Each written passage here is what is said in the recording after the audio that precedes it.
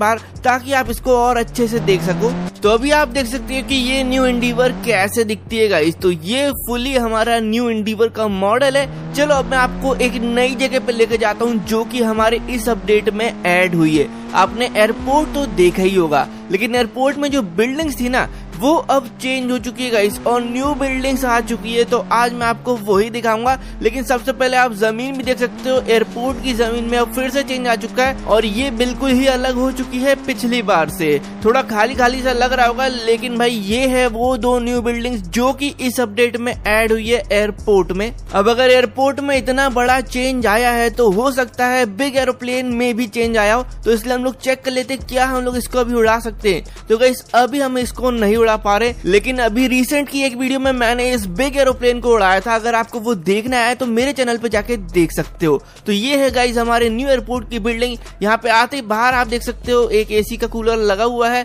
अब हम लोग बाहर चलते हैं मतलब की ऊपर चलते हैं भाई, क्योंकि अंदर जाने के लिए तो कोई रास्ता है नहीं। तो सिर्फ़ ऊपर ही जा सकते हैं। भाई, यहाँ पे सीढ़ी पे ना बहुत ज़्यादा गैप दिया हुआ है। इतना ज़्यादा गैप दिया हुआ है कि हमारा बंदा ऊपर चढ़ ही नहीं पा रहा। तो यहाँ पे चढ़ने में बहुत ज़्यादा दिक्कत आने वाली है आप लोगों को। फिर आ जाते हैं हम लोग ऊपर, यहाँ पे ऊपर, एक और कमरा है, आप देख सकते हो। क्या हम लोग इसका गेट खोल के अंदर जा सकते हैं? नहीं गाइस इसके अंदर भी आप नहीं जा सकते।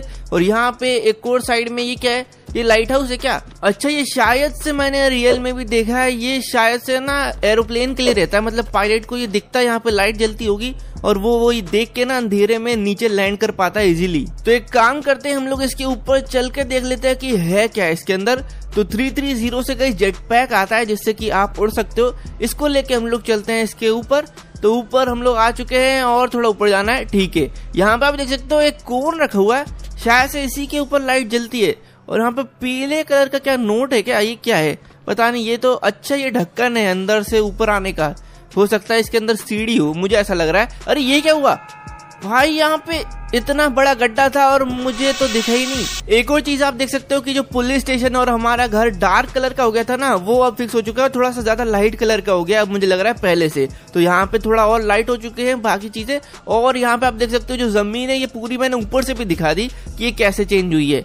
अब साइड में आपको एक और बिल्डिंग दिख रही होगी, ये क्या है? तो गाइस इसको बोलते हैं हैंगर मेरे हिसाब से, क्योंकि इसके अंदर है ना बड़े बड़े जो प्लेन रहते हैं, वो यहीं से अंदर से निकल के आते हैं, ठीक है? और सारे प्लेन इसके अंदर ही रखाते हैं। तो हो सकता है। हो सकता है भाई, इसके अंदर एक बहुत बड़ा एरोप्लेन या कुछ और छुपा हुआ हो और इसका कोई चीट कोड भी हो। तो हम लोग अंदर चल के देखते हैं क्या इसके अंदर कुछ है, क्योंकि बाहर से तो अंदर जाने का रास्ता है नहीं। तो हम लोग को यहाँ पे थोड़ी सी ट्रिकरी लगानी पड़ेगी अंदर जाने के लिए। तो सबसे पहले मैं ट्राई करता हूँ जेट पैक से अंदर जाने का। तो जेट पैक को इस पे चिपका के मैं अगर एग्जिट मारता हूँ तो हम लोग अंदर नहीं जा पा रहे तो मुझे फिर एक कार से ही ट्राई करना पड़ेगा। कार को हम लोग चिपका देते हैं इस बिल्डिंग पे।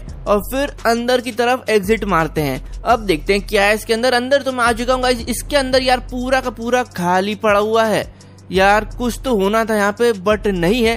हो सकता है कि आज जाए, क्योंकि जगह बहुत ज़्यादा बड़ी है। चलो, अब आपको नेक्स्ट चीट कोड बताता हूँ हमारे न्यू अपडेट की, जो कि है एट थ्री सेवन ज़ीरो इससे आएगी इस auto rickshaw eight three seven zero. Cheat code को याद कर लेना, इससे ऑटो रिक्शा आ जाएगी, जो कि हमारी फ़र्स्ट थ्री व्हीलर गाड़ी होने वाली है। तो चलो इसको चला के देखते हैं कैसी चलती है गाइस अच्छा इसका एनिमेशन आप देख सकते हो। एनिमेशन इसमें नहीं डला है। मुझे लग भी रहा था क्योंकि इसमें एनिमेशन बहुत मुश्किल हो जाता है अंदर बैठने वाला।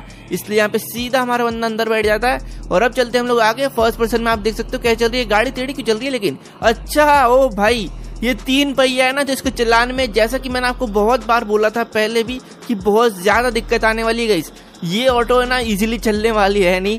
बहुत ज़्यादा दिक्कत देगी भाई, बहुत ही प्रो तरीके से आपको इसको चलाना पड़ेगा। जब तक के लिए मैं आपको लेकर चलता हूँ हमारे गेम के न्यू अपडेट की एक और नई लोकेशन पे। तो आपको पता होगा, पिछले अपडेट में कार शोरूम रिमूव कर दिया गया था, लेकिन इस अपडेट में वो कार शोरूम वापस से ऐड कर दिया गया है, वो भी एक नए मॉडल में। तो गाइज़ ये जो सामने आपको व्हाइट कलर की बिल्डिंग दिख रही है, यही हमारा न्यू कार शोरूम है और कंस्ट्रक्शन एरिया के जस्ट सामने ही है, ठीक है? रोड के जस्ट अपोजिट साइड पे। तो अब हम लोग इसको चल के एक्सप्लोर करते हैं, क्या नई चीज़ें आई है इसके अंदर। तो ऑटो को मैं ले आया हूँ, बहुत ही मेहनत से यहाँ पे, और बाहर से आप देख सकते हो कि बहुत एक्स्ट्रा जगह भी दी है कार शोरूम के बाहर, ठीक है? ये पूरी यहाँ पे फ्लोरिंग करी हुई है, और कार शोरूम यार बहुत जगह पे कांच से बना हुआ है, जो कि पहले भी था। अब मैं इसके आगे पीछे घुमा के देख रहा हूँ कि कहीं पे कार्स खड़ी है क्या? क्योंकि मुझे बाहर से ऐसा देखने में लग तो नहीं रहा कि अंदर कोई भी कार खड़ी है भाई। कार शोरूम में अगर कार ही नहीं है तो फिर यार थोड़ा सा गलत हो जाएगा। चलते हैं अंदर। इसका डिज़ाइन वैसे काफ़ी अच्छा है सच में। और ये देखो, यहाँ पे एक न्यू एंट्रेंस भी इस गोल वाली, जो हमारी कांच की रहती है। यहाँ पे भी कांच है, यहाँ पे भी कांच है, लेकिन कार कहीं दिखाई दे नहीं रही। और यहाँ पीछे भाई एक बड़ा सा एंट्रेंस है यार, वो भी ग्लास डोर्स का। ये काफ़ी सही लग रहा है, ये खुला हुआ भी है। फिर हमारी सीढ़ी भी काफ़ी ज़्यादा मॉडर्न है। ये वैसे रियल में होती नहीं होगी, क्योंकि यहाँ से कोई भी गिर जाएगा तो ये सिर्फ़ गेम में ही है। ऊपर चल के देख लेते हैं हमारे अगले फ्लोर पे। भाई, यहाँ पे कांच लगा नहीं है क्या? यार, यहाँ पे कांच ही नहीं लगा है। कोई गिर तो नहीं जाएगा यहाँ से? देखूँ क्या जाके। अच्छा इसके हम लोग ऊपर चढ़ सकते हैं, भाई। अरे, नहीं नहीं, नीचे मत गिरना यार, नीचे मत गिरना। बहुत मेहनत से ऊपर आया हूँ। चलो बच गए। तो ये हमारा सेकेंड फ्लोर है, लेकिन यहाँ पे भी यहाँ पे भी यार कार नहीं और ये तो मुझे बहुत ज़्यादा छोटा एरिया लग रहा है, क्योंकि यहाँ पे ये खत्म हो चुका है।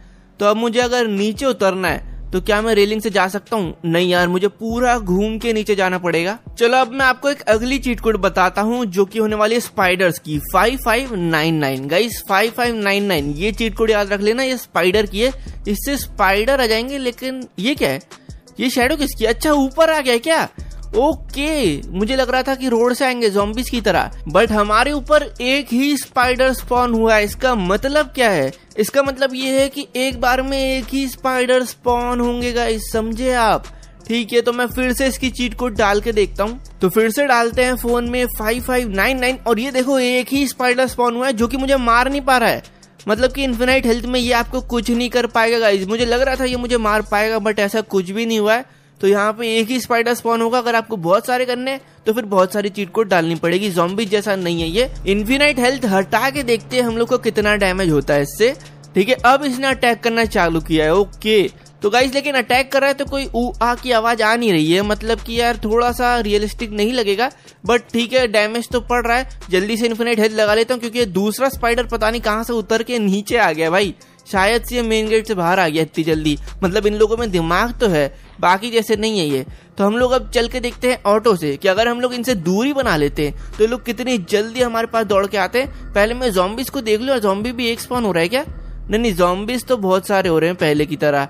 डीएक्टिवेट कर देते हैं इनको। अब थोड़ा दूरी बना के देखते हैं कि स्पाइडर्स कितनी जल्दी हमारे पास आते। हैं और आपको पीछे तो यार दिखा होगा शायद कि ये ना ये उड़ते हुए आ रहे हैं। मतलब ये लोग आते हैं ना तो बिल्कुल हाई जंप मार के आते हैं, ये देखो। और